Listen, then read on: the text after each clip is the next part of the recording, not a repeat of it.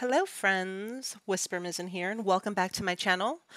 I'm doing a really quick uh, tutorial on how to censor your pictures. I know with Flickr the way it is, especially with Hentai Fair coming up, a lot of y'all are going to want to censor your pictures.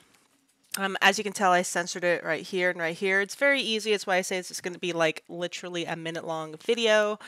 Um, this is the old school version of Photoshop. I have the new one, but uh, everything's just saved that I had all my settings in this old one. It's just what I'm accustomed to, so I just use this one. Sometimes I shoot over to the new version, but anywho, let's proceed.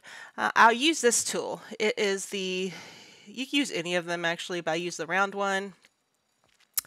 And I go over the area that I want to censor.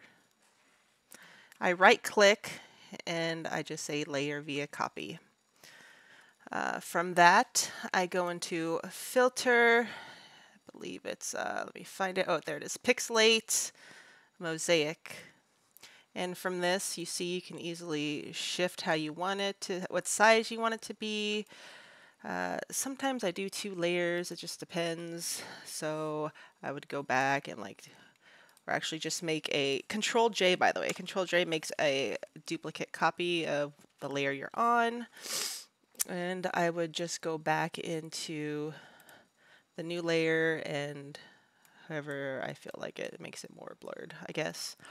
And then after that you just merge visible and yeah there you go all right, I hope that helped you. Um, if you're wanting to learn anything, just uh, comment below and I'll see what I can do. I'm not a master or a whiz at Photoshop, but I'm willing to help with whatever knowledge that I know. All right, guys, have a good night. Bye-bye.